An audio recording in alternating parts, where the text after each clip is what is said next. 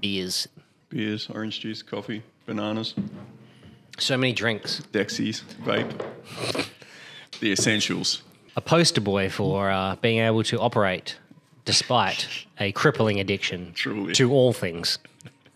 It's the truth. A hero, some would say. it was pathetic banana. An inspiration? Ruined a surprise party this weekend. Fuck yeah. You know what? Fuck surprise parties, to be honest, because it's just a whole lot of nonsense about nothing. I like them, mate. Well, of course you do. They're, Please tell me how you fucked one up then. They're, they're, they're nice. It's a nice thing to do for someone.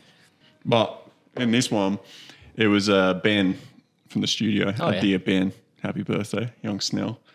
And uh, his girlfriend had set it up. And it was a Nobu. So Nobu, Nobu, Nobu, we Nobu. balling out, yeah. Got there on time. She's meant to be there in like 15 minutes. And my mate Josh is like, man, let's go out and have, a, have some nicotine. I was like, "Ah, I don't know, dude. It's getting pretty close to the time. He's like, dude, we still got 15 minutes. I was like, all right. So he goes to walk out, and I'm like, well, don't go out that way because that's probably where they're going to come in. It's like, we'll go out the other side. So we walk like two exits down. And then even then, I'm like hiding behind a bollard, you know, having this vape. Ben and Bella just jumped straight out the taxi right in front of me. And I was just like, Did you try and pass it off as like a, Oh, dude, a was- backgammon addiction that you've never told anyone it was about? horrible just watching Josh, Josh backpedal. Like he's like, oh yeah, like we're just here for some gambling. it was still a surprise. So essentially, what you're saying is your addiction ruined poor Ben's surprise birthday, Pretty much. and You got to think Josh really was the instigator of the whole thing. it's Josh's fault. Yeah, one hundred percent. Yeah, it sounds like that. However, you do need to look at the way your addictions are hurting those around you. I'm not gonna lie. Well, your addiction to vaping isn't bad as a story that I heard over the last week. And it seems like our dear President Biden isn't the only politician fucking shit up in America at the moment. Have you heard of this? Uh, I can't remember her name. Something Bobbitt. Have you heard about her? You should get fingered in a theater. Close. they went- I only watched a second of the video, but I was like, "There's no one going to talk away about where his other hand is."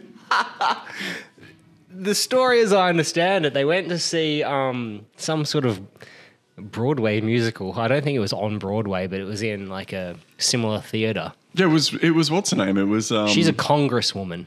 yeah. What was? What were they watching? Fred, not not right said Fred. The fucking what's the Drop Dead Fred. drop dead Fred? Nah. No, it was No, Beetlejuice. Beetlejuice. Same thing. Same era. You know what I was talking about? it was indeed indeed Beetle, Beetlejuice. So she goes in and sits down with her boyfriend, who immediately like. I don't even know how you would describe that action, eh, other than he grabbed a titty and was just flopping it around. Yeah, there was. Someone needs to tell dude. Girls don't like that. it looked like that's what he was doing. Dude, I don't think for one moment that the thought of pleasuring her had crossed his mind. He was just like, tits, and I'm going to grab one. But she clearly enjoyed it because she proceeded to give him an over the pants hand job, the lowest ranking of all the hand jobs. No, bless her though. Isn't that the response you want when grabbing it over the dress titty? Very true, because it is very difficult to be effective in a belt and jeans situation. Yeah, it's not easy access. No, Do she you would have to easy kind of- access? Was easy access in your school? Absolutely. Absolutely. Easy access on. Well, he was not running any easy access and um, started flopping around with the titty. But then, to add insult to injury, she was smoking, they were both smoking a vape in their seats in front of a pregnant woman. How dare they? I like this couple. this sounds like me. It really does. I heard this uh, story and immediately thought of you. I was catching a sneaky vape at the UFC. Everything aligns except the titties and the Yeah, I over the pants hand job. and I'm not as handsy. That's fair. But yeah, that respect to it. You know what was weird? Who was filming that? It was CCTV. are you really meant to be CCTV'd while? Well, I think in the they theater? probably cause their own issues by like essentially dropping the "Don't you know who I am? I'm going to call the mayor on you" Yeah, kind of shit. If you do that, then it escalates, and they have to then look at CCTV to understand who's in the right. And all they see is some titties getting groped, flopped around, if you will, and an over the pants hand job, and some ludicrous vaping.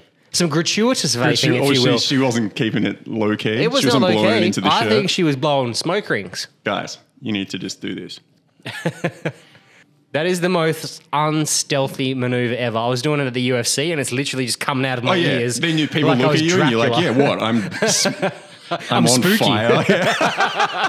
I'm a spooky man. I'm here spooking up the UFC. So yeah, then they fucking they kicked off. So I think that that's why that occurred. But honestly, if you're a congresswoman, take a long hard look at yourself. Probably don't give over the pants hand jobs in theaters. It humanizes her. Hey, How old was she?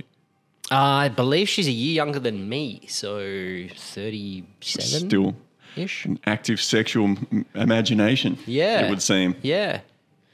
I'd go. I'd, I'd vote for it. Just have some decency. Do it in a theater while you're watching Armageddon, like all the rest of us did. it had me scared when I saw it. I was like, man, I wonder if they've been filming me in every cinema I've been in. no shit. Let's hope not. A gross invasion of privacy. But she really doubled down, and I was actually looking through my photos because I know I took a screenshot of it. Um, you might have to just edit out the the delay here while I look at it because she she slammed her haters in a Twitter post, which the choice of language she used was short sighted, shall we say.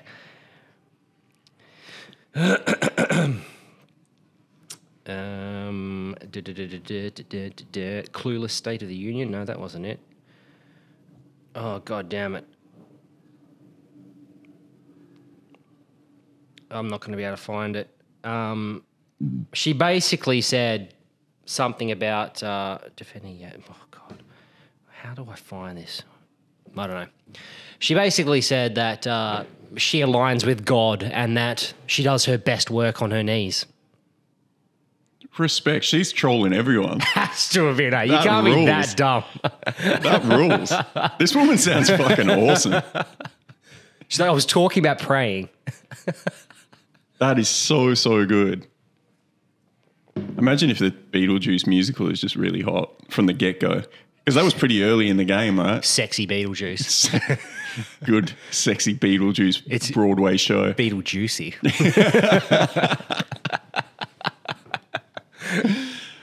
That is nuts, though. Imagine just being, realizing you've been filmed doing that, and just being like, oh no. It's very hard to come back from there. I don't know these days. The harsh reality of 480p CCTV footage.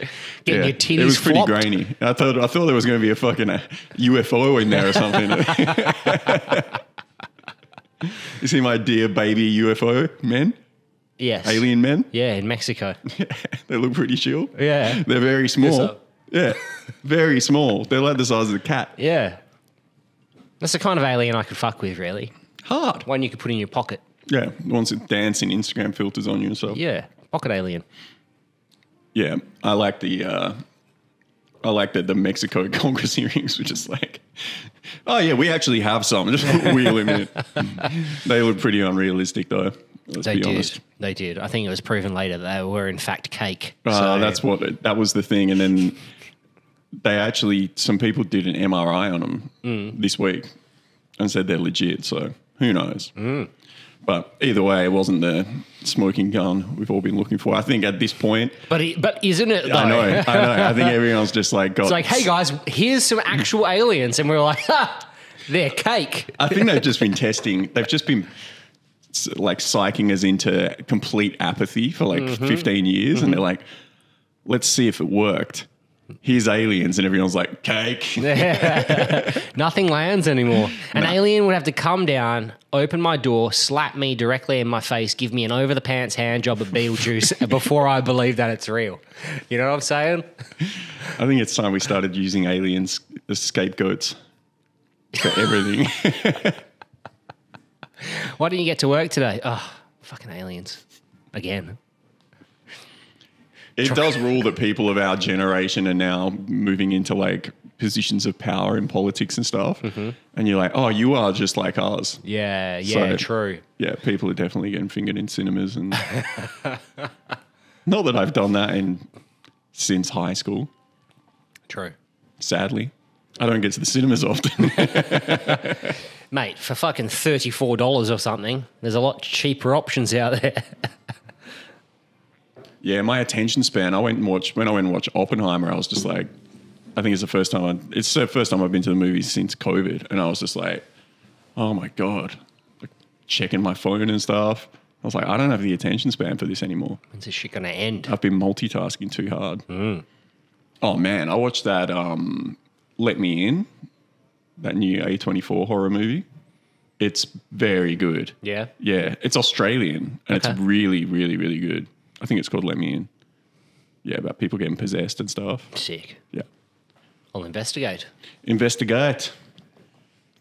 Um, how have you been, Scott? We haven't um, we haven't done one of these since our Sydney escapades. This is true. Sydney was a vibe. Sydney was a vibe. It's good fun. We got it in. It's good fun. Very adult. I got hammered drunk You and had to get a fucking flight home with a hangover. You did. I was very proud of you. You Yeah. um, you really just buckled down. It escalated very quickly. We went from this casual drink at a. How cool were hidden bars? Yeah. Yeah. There's a few of them over there. Hey. It would appear so, since like we went to of two are. of them. Yeah, it's like down some sketchy alleyway, and there's no. It was cool, man. I, I thought it was. I thought it was a good time, but yeah, deep into the margarita. I didn't realize we were going out afterwards, so we Well, ended that, up. yeah, we didn't know that that was a plan. We ended up in King's Cross with the notorious Daniel Bradshaw. Wearing his sunglasses inside. I will. Yeah, there was Let you quite a lot of sunglasses inside in that place. There was. I knew immediately it was not a good place for me to be. and Israel went in there to collect the bag, obviously. He was just like, meh. Didn't Because even fucking notice him, eh? I just had a bouncer push past me. I was like, oh, there must be a No, fight. he put his hand on me, eh? Did he? Yeah, he- I thought, I didn't realize he had security with Hmm. him because he had a, a small entourage. But yeah, I just had a hand on the shoulder and I turned around and it was fucking Adesanya. and I was like, meh. And he was also wearing sunglasses and they just moved past him. Understandable. He Yeah. probably couldn't see out of his eyes. That's why he had his hand on you. He's trying to feel his way around. What do you think of the uh, the UFC? We was we we kind of had a brief chat about it afterwards. I'll go. We we didn't. I don't think I'd go again. Because and and the main thing was it was cool. It was entertaining, but you're still watching it on a screen. You can't help yourself but watch it on a screen. There's no commentary, so you have no real I, I, think, I feel like in fighting commentary actually adds quite a lot, which I hadn't realized. Um, and the crowd was just, I, like that was a good fight. It was it was pressure all the way through the Adesanya Strickland fight, and Izzy could have knocked him out with one punch, and you were waiting for that. So it was like I thought I, I was like, damn, this is a good fight. I'm enjoying this. The crowd's just like, do something punch. It's like, dude, there was first round knockouts littered through that card. It finished early, and then you're watching a a super interesting fight between like a real high level striker and a retard machine. and um, yeah, I was like, people were not entertained. They were just shit. And that, what's with the you? Oh, I don't understand it. It's the Vuvuzela of Australia, It fully is. It was ki- kind of a bit, bit, embarrassed by the, the whole thing, to be honest. Me too. Me too. Um, but yeah, big crowds. Just like you said, and we like we discussed. You know, the Chappelle show, uh, Segura, for example. Whenever you go to those kind of big, those big events where you get a conglomeration of all different types and fucking Yeah, pop species. culture, full in the zeitgeist, Yes. popular. It brings out people that don't often leave their houses. And Yeah. when they finally get out, they're like, fuck yeah, we're going big today because this is the only chance I got to get off the leash, you know? So I understand it from their perspective, but I struggle to I struggle to ignore it because it's Yeah. so fucking annoying to me. Yeah, it definitely grinds on you. There wasn't like a Grab his dick and twist it. It's like, dude, it's a seven year old meme. Can we move past? every single MMA event I've been to, some idiot. Yes. shouts. And the problem is that People laugh still. yeah, and then they go, you watch the person that said oh, it, be like, oh yeah, and then they're like, I'm gonna do it again. it's like, dude, shut the fuck up. Like starting a chant. We don't have any good chance Dude, in Australia. Aussie, man. Aussie sucks. It sucks Hard. so bad. Um, It's so good to hear it fall flat on its face all the time now. Yes. And you go, Aussie, Aussie, Aussie. It's like, oh, oi. and it's like, are you going to follow it up? You're going to try and out. keep, yeah, Yeah. just tapers out to nothing. And then that dude is just like, you know, heartbeat in the face, just like, I couldn't inspire them.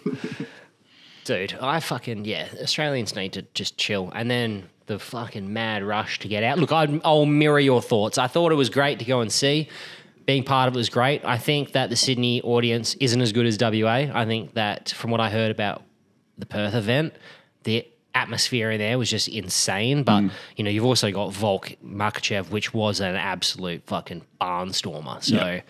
You know, Izzy and Strickland, despite it being a good fight, it wasn't like a super interesting fight. yeah. Um, so the, the it didn't really deliver on all aspects as I hoped it to. And when you compare it with the ticket price, uh, over seven hundred dollars, and you're still watching it on a TV, like you said, ugh. Now, we were close, but you're not close enough to see the detail, and it's Yeah. the detail that's the most important bit. Everything happens so fast, you can't you can't physically see it um, from from that distance. Yeah, fully. I thought that's, man, it would be so expensive to get drunk at that thing. That was the other crazy thing. Yeah, because you know people paying you know seven hundred dollars for a ticket, and then to get two drinks is 30 bucks or something, right? 40 bucks. yeah, and that was what we we, we got like water. We were drinking waters. Yeah, it was insane. Like it was insanely expensive. Hmm. But you kind of expect. It's sad that we expect that. It's sad that as a bunch of morons we go to things and go, oh okay, eight fifty nine bucks for a bottle of like three hundred ml bottle of water Why, is, why does it have to be like that? because we allow it to. Yeah.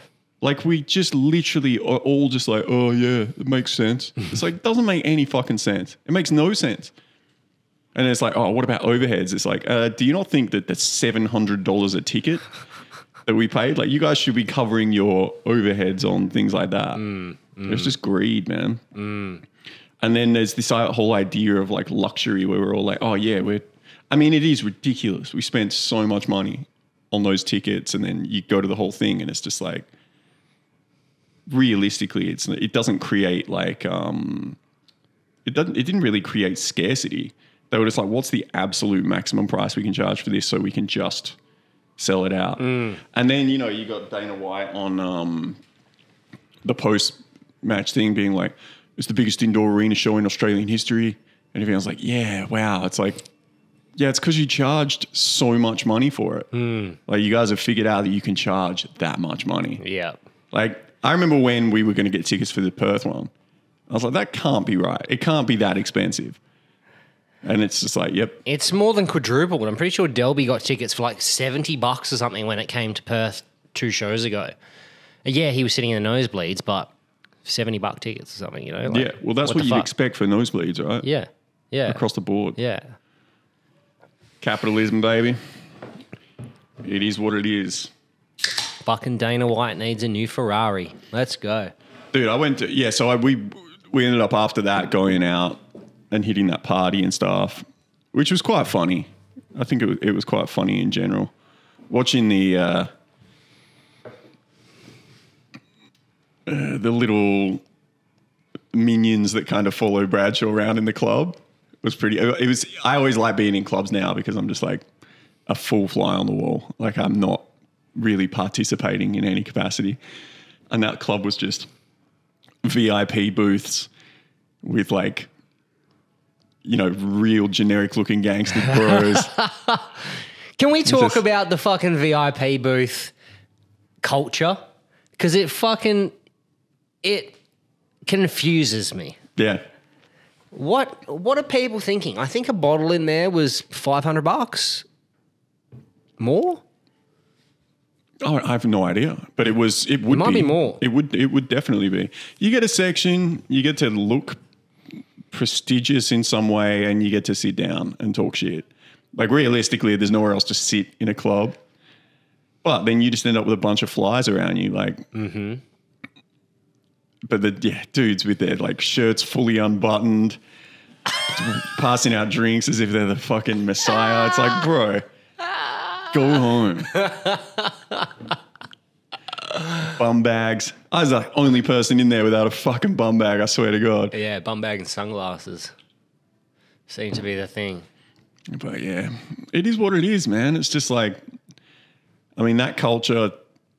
It was obvious that was that was going to happen with like social media and TikTok and stuff. It's like everything has to be a um, Caricature of itself almost. Yeah, and it's like every single place has a hierarchy.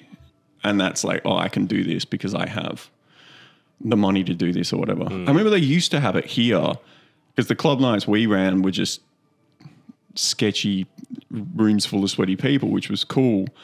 But then there was some other nights that had things like that, VIP booths and stuff like that. And they would have um, there'd be dudes that I knew worked in call centers that would all pitch money together and get a booth and like ball out. It's like, is that what you're fucking working for? Like, how many hours of calling my fucking phone from a private number is going to justify this bottle?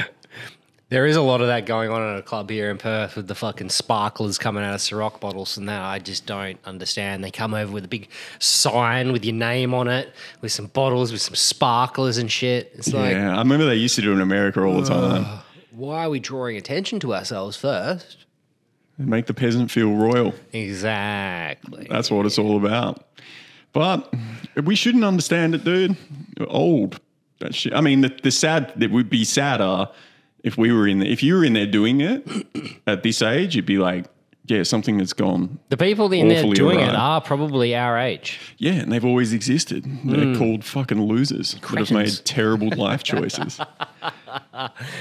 I feel bad being in there, full stop. Like, I couldn't break that. I couldn't break that feeling of like, why am I, what am I doing in here? Mm-hmm. Mm-hmm. And everyone's like, oh, what, who are you? Like, what are you doing? It's like, no, nobody, bro. I'm nothing. I just took a cash advance on my Visa card so I could buy this bottle. But yeah, geez, it's been uh, having to having to get a fucking flight the next day. Yeah, That was the first been time in a while because I don't drink often. I was hungover and I was like, I don't know if I can do this. I got to the airport like two hours early because I was just like, I don't know what I can do. Full stop.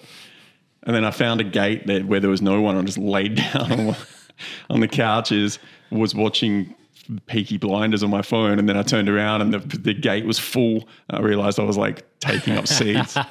it's like women and children standing around. I was like, mm, okay, Good. sorry guys. I went and got myself a fried chicken sandwich, ate half of it, and then uh, just left it on the side of the hotel room. Uh, and that was pretty much as much as I achieved that day. Yeah. Oh, you stayed that extra night, didn't you? Yeah, yeah, which is good because it gave me a chance to kind of decompress. If I'd had to have gone to the airport in the state that I was in, I might have killed a man. Yeah. I just came home and slept. I sat next to. I bought Economy X on the way home so I could like get more leg room, and I sat next to a fucking warthog of a female who was wearing no socks with her shoes. And let me tell you, I could smell that the whole way, and it wasn't pleasant. I would go so far as to say it could strip paint and I was sat next to it. I don't understand why, in this day and age, you would get on a plane and not have any socks on. It's ridiculous. People are gross though. People on mass are just gross. She works for a very well. She works for the Wildcats. Actually, I'm not going to name her, but I saw her name. She was trying to work, working for the Wildcats, maybe in uh, marketing, and Maybe you should wear some socks on the plane. she sucked. I'm sure Wildcats would give you a sponsorship for some fucking Nike socks. Next time, put them on. You don't reckon she had ankle socks on or something? No, no, no, no. Because I thought that. And so I obviously, on a five and a half hour flight, was obsessed with it. So I did my diligence and I can confirm there was no no show sock. Man, on the plane on the way back, I was just like, I don't need nicotine. I was just like spending bouts of time in the toilet. Anyone that tells you that um, vapes set off toilet alarms is lying to you. Oh, speaking of which, how fucked are planes right now? I had the misfortune of having to go to the toilet. And the toilet looked like a toilet at a nightclub. Like people just apparently piss on the floor. And when you lift the lid, the lid doesn't stay open. Yeah, it's very weird. So as a man, you have to hold the lid and the fucking the what's the the seat, right? You technically have to hold that as well, but I'm not fucking wanting to touch that with my bare hands because I've seen the state of it. So I'm having to get toilet paper to hold the fucking lid up, and I'm trying to piss and hold my own dick while the c- fucking plane's moving like this. It's it's fucking ridiculous.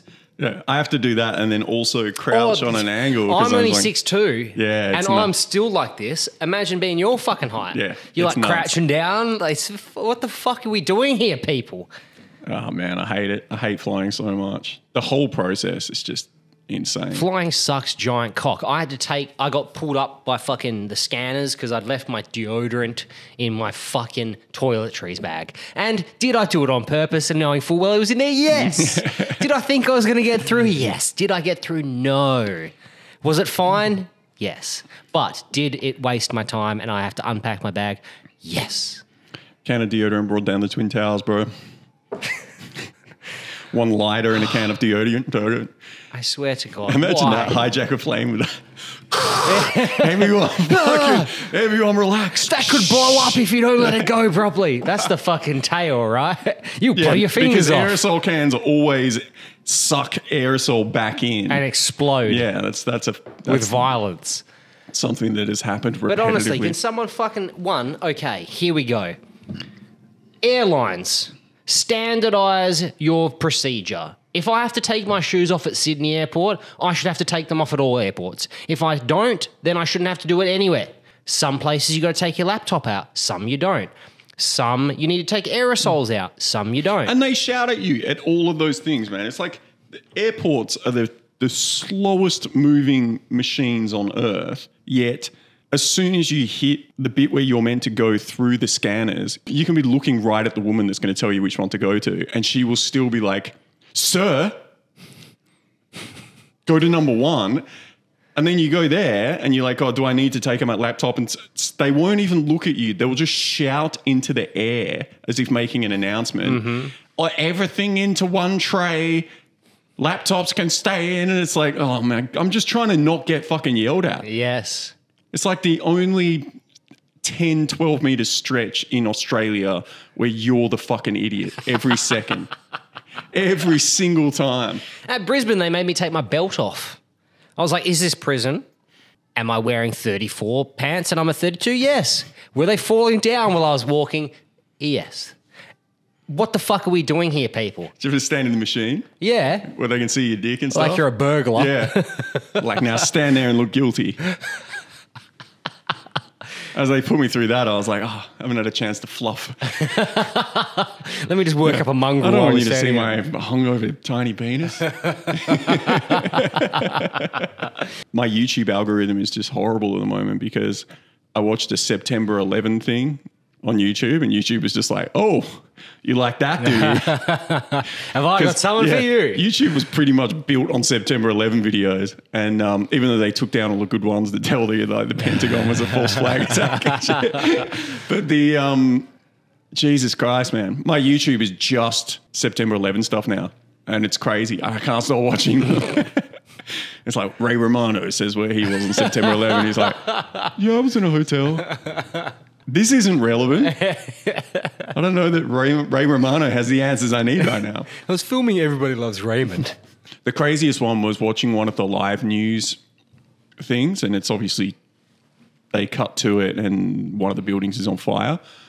and they're going, "Oh, we're just trying to figure out what, what happened," and like we're getting some images, and it looks like a plane, or we- heard that a plane. They, they're just like trying to fill the air, you know. They're like, hopefully people are okay, they're able to get out. Like it looks like some sort of obvious accident, da da da.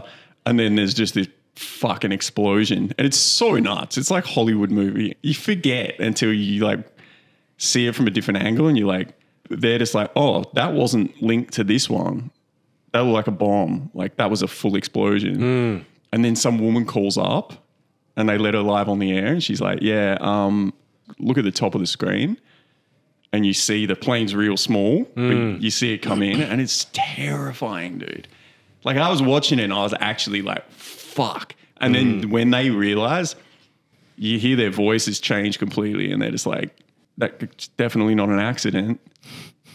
It's fucking crazy A wild time. you, you kind of think in America they have like F-16s just sitting there ready to go, armed in case something. I don't know why we just kind of assume that. And they were interviewing like F-16 pilots, and they were like, "Yeah, that's not how it is." Like, "We got the call, we got told to stand on alert or whatever, but none of their planes were hot, so none of them had weapons." And the second plane hit the tower, and they were like, "You guys are just gonna have to go up." So they went up unarmed. And then they found that the one that crashed over Pittsburgh. And uh, this woman's like, yeah, we were following it and we were going to have to ram it. Two pilots, they're like, we were just going to have to die. Holy shit. And then they were watching it and it, and it crashed because Oh, the wow. fucking people on board were just like, nah, Yeah, fuck this. yeah. That's Took it down into a field. It's so crazy, dude. It's such a crazy thing that we grew up with that. And all And the different stories are very interesting that come out of it. Like, so you can hear all the different perspectives, you know, like those sliding doors things. I was on the plane, funny, like, bring it up. I was listening to that guy, Shawn Ryan, one of his uh, interviews with a guy who was like special forces or whatever. And what they were doing, they were in New York, I think, at the time. And they were um, doing what they call red cell which is where they basically pretend to be Russian infiltrators and they try and do a series of activities that would replicate stealing nuclear launch codes. So you have to hunt down certain generals, follow them to where they need to be, simulate shooting them. Obviously, none of this happens. But this guy, long story short, was in the bushes at a fucking army base, surveilling this general when the Twin Towers started to blow up. And all of a sudden, all these Marines come running out, fully armed, and he's there hiding in some bushes like a fucking spy. He's like, I'm going to get shot here if and I don't get out. full. I uh, listened to the same Full thing, civvy full civvy yeah. stuff. That was crazy, yeah. But yeah, that all that all that 9/11 stuff's crazy. Constantly, we're we're always talking about like we're the mo- it's the most divided that it's ever been right now, and like we're on the brink of this, and we're on the brink of that. It's like, can you imagine if 9/11 happened tomorrow? People would just freak the fuck out. Like it changes culture completely because it's suddenly that's a thing that can happen apparently America was like so united, it was super divided on September 10, and then September 12, everyone was just like, "What are we gonna do?" Yeah, it's pretty nuts. I mean, look at Japan. Japan got bombed, and prior to that, for like 300 years, they were absolute psychopaths. Kamikaze pilots, and they were constantly a problem. Same as Germany, they were constantly trying to fuck with everyone else around them. And then they had two nukes dropped on them, and the psychology of that entire country is like I've never seen a more culturally Americanized country since, right? Like it's all people wearing Mickey Mouse shirts and stuff. Mm. it's like mm. what? Can you imagine if you were alive and survive the bombings and stuff and live through that period? Dude's walking And down then the road now with you're an like Undertaker 90. shirt on. Yeah, now you're 90 you. and you're just like, Mickey Mouse killed my fucking friends. but yeah, it's weird because that was defeat, right? Whereas in America, it was, it was an attack. Like if they would have nuked Chicago or something, maybe everyone would be wearing fucking turbans. turbans and stuff now. Was it turbans they were wearing in Afghanistan? I'm not trying to be insensitive. What do they wear? The, Yeah. the head, the, the head gear. Yeah, uh, I Maybe don't some know. form of a turban, perhaps. I don't know what you'd call it. I don't think it's a turban. I think that's like an Indian term. Mm-hmm. Um, there would be a name for it in Arabic. I know, like the they the dress, like not dress, like what it, they wear. They call it a thobe or a like dish dash is like the um, colloquial term for it. I, I think I don't actually remember what they call the um, the headgear. It's surprising that we never took onto that as a society, considering our climate. Dude, it's sick. I was actually thinking about like adopting the thobe myself because it would be vibing, especially in the summer. Free ball it, just have a constant breeze. You've been slowly trying out new fashion choices. Exactly. You were an had a leopard print. had a leopard leopard t-shirt on. Yeah. I don't see. I think you could probably This is the summer of the thobe. the thobe, The thobe. thobe life. It's got to get some nice leather sandals. Maybe like a nice black shawl with some gold fucking detailing. That'd be really nice. Keep it classy, you know? I respect it. Hmm. Plus, I mean, you came from that life. That's right. That's your heritage. Exactly. Oh, I've been having a solid laugh this week. I'll show you the photo to give you some context on this. It will not be shown to the public. you kind of are accepting that in the modern age, girls especially using absolutely hectic filters on selfies. And we've kind of just adapted to this idea where we're like, oh, yeah, that's what they look like. And then I think I'd said to you a while ago, like, I know a girl and she posted a photo and it's and it tells you what filter they use. And it's like, try this. Yeah. And you try it and it's insane. Like you put it on yourself, it's fucking insane. When girls want to get photos with their boyfriends, they obviously need to maintain the Instagram illusion. illusion. so the men have to suffer for it. This girl looks like she does in every photo, and the dude looks fucking insane. It was like Mr. Potato Head. Like he has no features. It's so hectic. Bro. Because the other thing it does as well is if like if you're in the unfortunate situation of starting to go a bit thin on top, I was about to say, it didn't do anything for his hairline. Yeah, the- oh my God. this poor dude looks like Mr. Potato Head. Do you know what's wild though? Is that he looks completely ridiculous. She She's great. kind of looks normal. Yeah, because that's what I'm so used to seeing And when you said we're just we just like assume now like that's what they look like, I was like, no, not really. I understand. yeah, And I agree. it's confusing to the brain because my brain was like, she put a ridiculous filter on him, and then I was like, wait, yeah. my reality came crashing down around me. Dude, you can do ones that are just so insane. They change the Your complete face. structure of your hmm. face. They put different eyeballs in you. Like it's nuts. I don't trust anything anymore. Rightfully so, to be honest.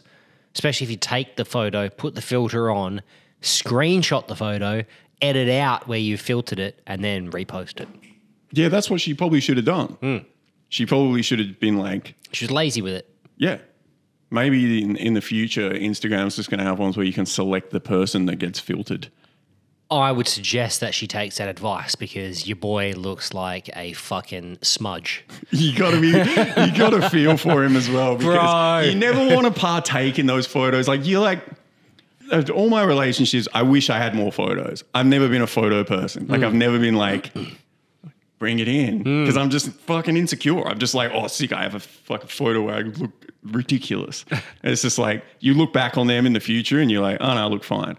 But at the time, you're just like, I don't want to be photographed. Not into this that dude is just like had to get in that photo and then she's probably taken nine of them she wouldn't have consulted him on the posting and then she's posted it he's felt that if i don't like this or repost it there's going to be problems He looks like a half shorn kiwi fruit.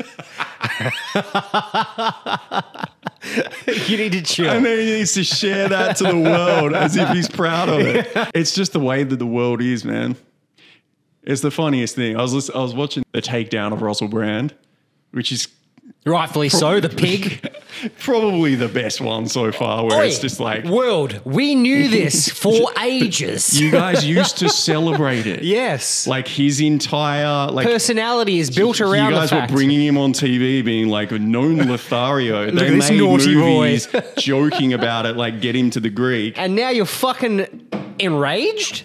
There needs to be some form of redemption story, right? It's like, yeah, I used to be a heroin addict, and now like I'm out here talking, you know, his truth or whatever it is, and he has suddenly like millions and millions of followers, and there's an election coming up, and they're like, "We're gonna have to fucking uh, get rid of this guy." And it's hilarious because they're sending out official documentation, official letters of request to YouTube, Spotify, uh, YouTube, um, TikTok, and Rumble, being like, "We need you to demonetize this person and take them down because they're a bad person." And Rumble and TikTok were just like, "Hey, here's the documents they just sent us. This is ridiculous." And YouTube were a bunch of cucks, Cucks. absolute cucks, man. We can't, I can't, we can't get a, anything monetized on there. Full No. stop. I sat on the last episode and took every swear word out. It took me hours. The dude swore a lot. and it's still, I still couldn't get it. It's, It's just still- like, okay, this is what it is. What's crazy is the fact that he's had his rags to riches. He went from heroin addict to Katy Perry. You can't get better than that. And now when the marriage with Katy down. Perry didn't work out, they agreed to get a divorce and he didn't take any of her money. And that was a big story. It was Mm-hmm. like he could have taken half of Katy Perry's money because she didn't have a prenup, but they were on good terms and they were just like, hey, I love you. It's chill. not worked out. Yeah, Like, we'll do our own thing. it's insane. But oh, yeah, the fucking craziest part about it was rape is a fucking hideous thing. It's the second worst thing to murder, right? Anyone that is a rapist deserves fucking everything they get.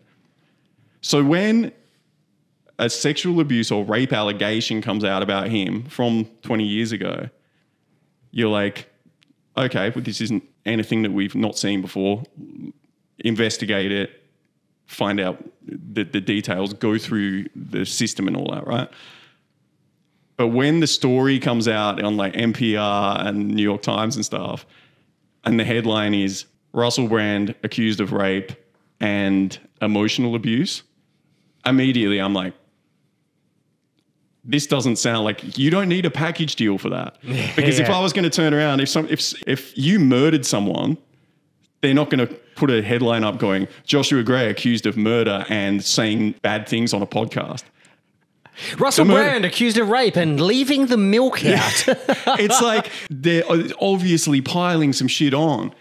Emotional abuse has to be the most generic, open for impression. Like I could, I have been completely in love with a few people and had long, meaningful, awesome relationships with them. Every single one of them has emotionally abused me. and I have done the same. It's called having an argument, not resolu- not resolving anything, and then many, many years later having an argument and coming back and referring to that Yes. thing and being like, I never forgave you. And they're like, You said you did. And then you hold shit over each other until you reach a point where you're just like, What are we fucking doing here? Mm-hmm. And that is the way that people filter out who's going to remain in their lives for long periods of time, or you just go, look, we've we've tried our absolute best, this didn't work out. But that period from where you're like un, where you realize you're not happy and then you're trying and you're trying to get stuff together and you it never really gets back to where it should have been, but you're both kind of still there. That period of time is called emotional abuse. like consistently. And I don't want to fucking point fingers at like particular genders, but I will say that of which there are multitudes. Shall we confirm? the only there's only two that I can that I've had experience with personally. Not, not to say I'm still yet to catch them all. Scott but- Miller, not a rapist, but gaslighter and gender denier. You've heard it oh, here Oh, first, gaslighting folks. is gaslighting is the other one. Oh. Gaslight gaslighting is amazing. Gaslighting is a term where you you'll be arguing with someone and they will come up with something completely ridiculous, and you're like, why would you say that? That's crazy. That's gaslighting. It's like, no, this is me kind of pointing out a flaw in your argument. and I think the problem with these sorts of things is I'm sure there is like malicious gaslighters out there and there's mm-hmm. malicious. I'm sure that like emotional abuse in its worst could probably be completely fucked up. But run of the mill emotional abuse is pretty common in general relationships. The, across the, the board. lackadaisical nature in which that word is just thrown out for no apparent reason diminishes its effectiveness, its efficacy, if you're just using it for the sake of it. Like if I didn't put milk in the fridge, it's not gaslighting. You need to be very specific around how you use it. Gaslighting would be like not putting the milk in the fridge, and then they're like the milk's out, and you're like, Like, it yeah, was you you. left it out. I watched you do it. You're so stupid. Oh my god, that would be the fucking worst. Have you ever found yourself in a position where there is something extremely heavy to pick up and you do not have the physical attributes to be able to manage it? I have. I know Scott has. And if you find yourself in a similar predicament, you should reach out to Jackson Moore at Perth Fork Trucks. These boys have been servicing the Perth fork trucking industry for over a decade? Maybe more. I don't know. It's been a long time. We don't have that information. They are experts, though, you can guarantee that. The guys are currently running a promo up until December where you can enter for free to win yourself a forklift. Now, I'm personally thinking about entering just so I can drive it down Murray Street and move any idiot that doesn't know how to merge properly. If you're interested in winning your own very own fork truck, go to perthforktrucks.com.au. The link is going to be down in the description below, or reach out to Jackson Moore. Oh, speaking of which, Boyz II Men are coming to um, whatever they call that fucking weird festival with all the old rappers, Hell yeah. Juicy or whatever the fuck it's called. Hell yeah. It's like Kelly Rowland, Boyz II Men. Seems like a vibe. I might have That to go. does rule. I might have to go. Dude, they were my favorite band when I was like in Bahrain. So I would have been. I don't think you can call them a band, can you? It's like group. But yeah, favorite group. Did I ever, my, my first like broken heart was Boyz II Men. Did I tell you about this? No, I think I would have been like year three, early days. early days, and um, had a bit of a crush. Mm-hmm. It came to Christmas or whatever it was. I think we might have been dating. Mm. You know, she Got might have been my first girlfriend. Yeah, Yeah. it was getting pretty, getting pretty real. And um, Any over the pants hand jobs in movie theaters? sadly, I was unaware of what the penis did at that point. Um, I bought her a single oh yes. of Boyz II Men. Sick. I'll make love to you. I'll make love to you. like you want me to. I'd love it. And I um and I gave it to her, and then her parents contacted my parents. Ah.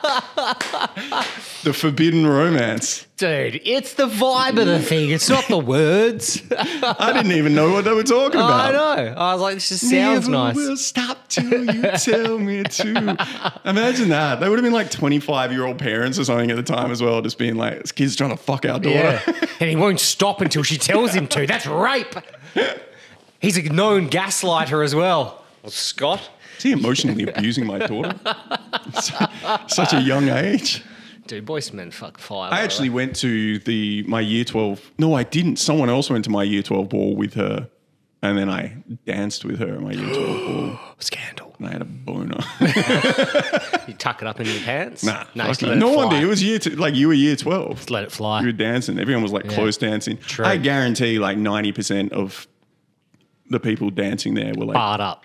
yeah, and they were getting pressed into. Mm-hmm. Think about back to like how just barred up you were for like five years from being like 14 to 19. Perpetual. It's insane that dudes just don't go completely crazy. I think, you know, this is a, all of this is Hearsay and conjecture? yeah, probably going to get in trouble for my honesty in this. I was so I had a theory that's been brewing, and I'm not. It's not completely formed yet. The basis of the thought was that our parents' generation and the generation before that made all this money on housing, exploited everything to a point that we just grew up thinking that we were going to own like a house and an investment property and have like a boat Because that's normal. because that was the mm. that just seemed to be the way that the world worked. And whenever you asked anyone how that happens, they're just like, you just buy a fucking house and then it it doubles in value in three years. It's not that hard. And then you leverage against that. It's not that and you're hard. like, I'm studying year 11 economics. I'm pretty confident that this is not a viable trend that is going to continue. And they were all like, property, it's your best investment strategy. And then the ass falls out of all of that the week you buy your fucking apartment and you go and ask everyone that's over the age of 50. and they go, "We got no fucking idea," and you were just like, "You led me astray, barefoot investor, rich dad, poor dad, you motherfuckers." Anyway, I was like, "Yeah, that's pretty funny," and then we ended up hitting an age where we were like, "Oh shit." This money is not as easy come, easy go as it as we as we were expecting it to be, and then we have to deal with the, the next generation of people just calling us like bigots, racists, and assholes. like you're just stuck between a rock and a hard place where you're just like, oh, we're not fucking anything up for you, we promise. Um, we're just being martyred.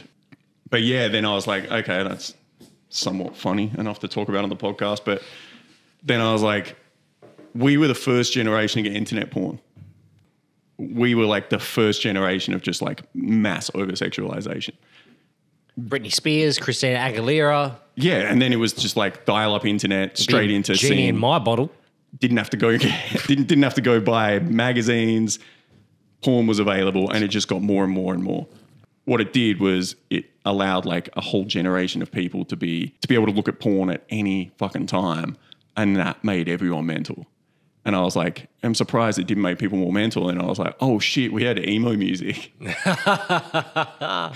that was a bunch of dudes, 16 to 24, just being like, fuck, fuck, you fucking bitch, fuck. And it, was like, and it was like, that just happened for a minute and then it stopped and it hasn't really continued Yeah, true. since. Hawthorne Heights existed for a while there. Like that I was listening to where they were literally just being like, you fucking whore. and it was like, what's this guy mad about? It was like, I think it was just this like insane amount of over sexualized kids that had just seen way too much porn, just being like, this isn't happening for me. Like, and then slowly over time, I think girls started watching porn.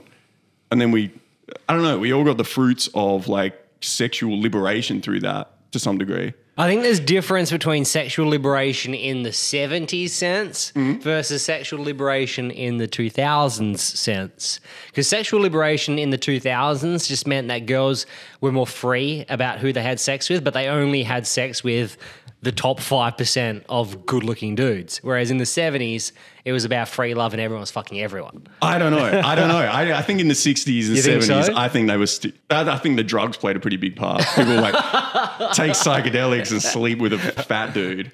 I don't think that they woke up being being like, oh yeah, like heavenly spring flower.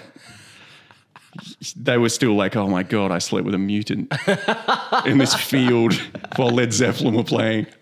Pretty good story. I think yeah, I think sex became more performative in the 2000s.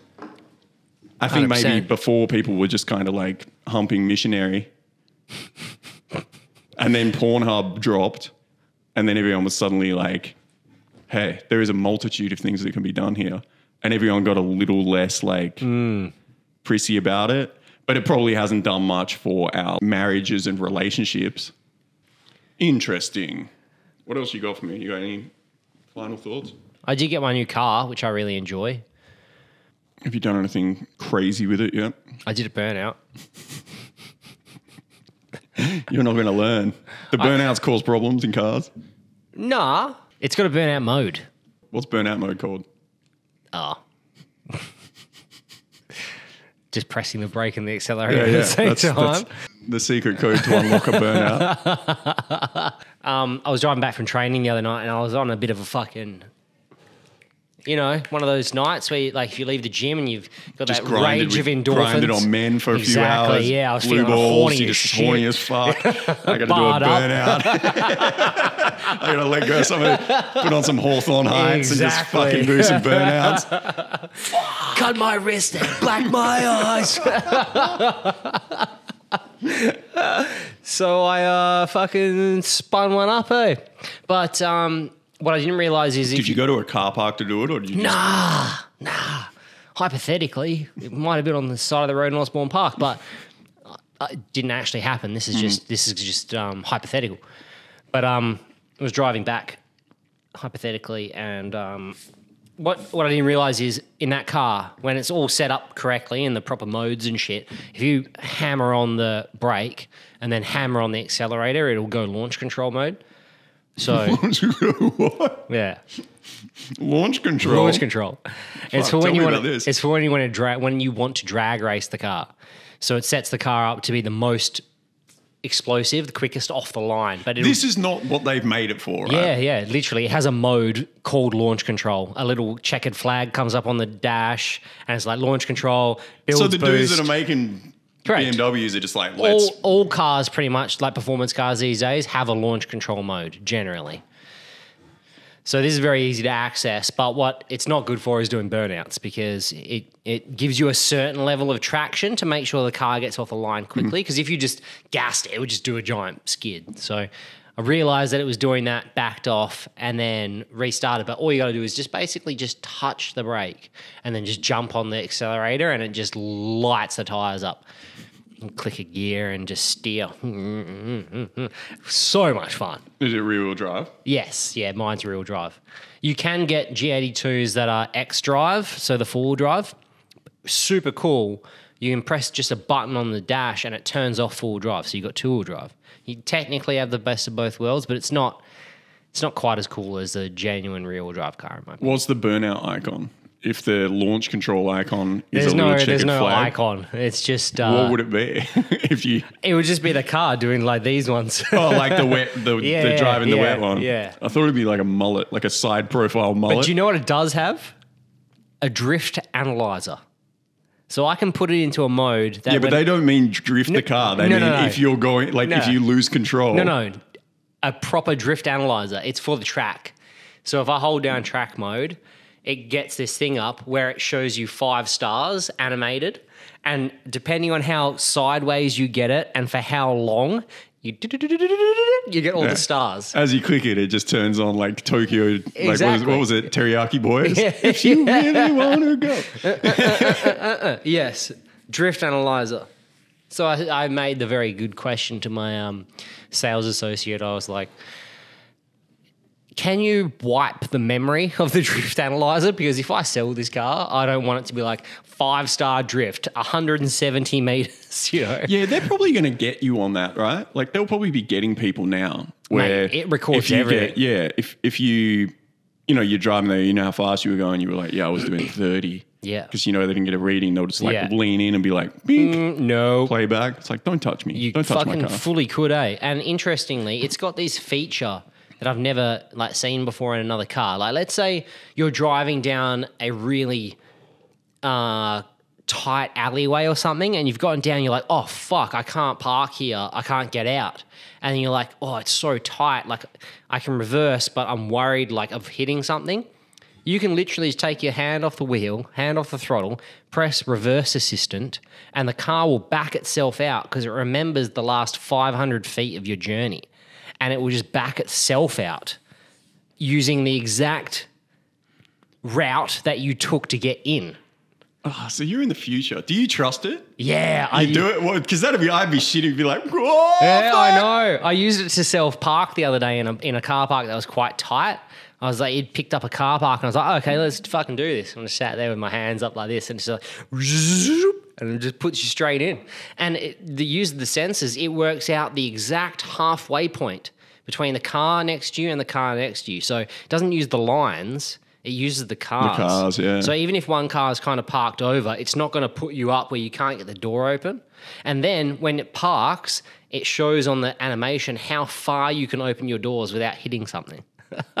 Dude, I did that. At, I, I went to the dentist yesterday, and then I had um, I was at Riseley Street. You see our dear Greg? Nah, but You go to the Yeah, yeah. hygienist now? Yeah. and uh, they rule. I love those guys. Riseley Street Dental for anyone who worries about their teeth. Go Yeah, see him. shout out for- the most that's- handsome dentist in Perth, Greg Truly. Yap. And those guys rule. They have Netflix on a TV. So they nice. give you the remote. Yep. They have Eunice, who's been looking after this Mm-hmm. this mouth. Chompers. Yep. Um, so I got like I had a little cracked guy at the back because I grind. Mm-hmm. So I'm on my grind, bro. I stay grinding On that 50 50, boy. all the time. Never stops, even when I'm sleeping. And uh, yeah, I was I got quite attached to my little sharp tooth Mm. at the back where I was like playing with it while I was thinking. Like, hmm, It's my guy. and now it's gone, and Mm. it just doesn't it just doesn't feel right. But yeah, I went to the shops that are there. What Booragoon. Booragoon. Yeah. And um, Garden City. yes, jammed obviously because it's a Saturday, and there was someone parked on like a a pretty strong. It was a good sixty degree angle. So I've pulled in and I'm on the furthest park to the right. So I've pulled in and I've gone, oh, well, I'll go with them. So I kind of had half gone bet- between the lines and then aligned with them because if I would have gone straight, I'm like, this guy is definitely going to grind me on the way out. And I've just jumped in. And then when I come back, there's like just my car parked like an absolute dickhead. I'm like, you guys don't understand. It was noteworthy. It was fully noteworthy, and no one, no one had the balls. Yeah, good. Fuck them. Um, yeah, look, well, let's wrap up. Uh, I think we need to do a quick shout out. A couple of guys have bought some merch recently. We got our dear friend Tyson Foster, Ian Strange, previous guest, and Cade Kapoor, who have all forked out for merch. So thanks, guys. Appreciate you. It looks like the song I made has finally started to pay off. And very interestingly, I think we said that this was all sold out maybe seven to eight weeks ago, and Yeah. still there must be some Some- inventory floating inf- around. I've still got to put up the new stuff. we do have new stuff coming, Allegedly, according to our Scourge. I made the song, and then I was like, this merch needs to stay. That song was sick, though, honestly. so props to you for that. And look, Didn't get an ARIA nomination, sadly. hey, there's still time. Um, thanks everyone for listening as per usual. Hope you've enjoyed our fucking shit talk. I'm a few beers in, so if there's anything offensive, just call my manager. And on that Uh, note, we'll do a final shout out to the boys at Bicep. They were sponsoring the pod Mm-hmm. for the last few months. I had a chat with them yesterday, and they're backing off a little bit because I think, like all industries, shit's getting a bit tight. So time's tough. yeah, go hit the boys up if you need any um, Labor hire. labor hire at all. And they are good blokes. So thanks for the run, boys. Dylan and Aldo, appreciate you guys. And they also started a podcast. So respect to that. They've had one for a while. Yeah. I God can't bless. remember what it's called, No, neither can I. but write it in the comments or something. Um, and yeah, if anyone wants to get on board for sponsorship, there is a space available. Yeah, uh, we will do anything, including gaslighting you uh, if that's what you need to get off. So, on There will that be note, no there will be no emotional abuse on this podcast. unless it's consensual. Peace. Bye bye.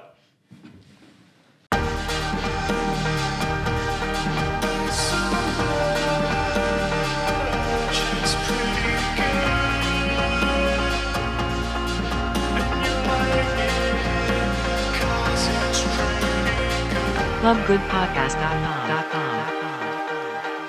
Clubgoodpodcast.com.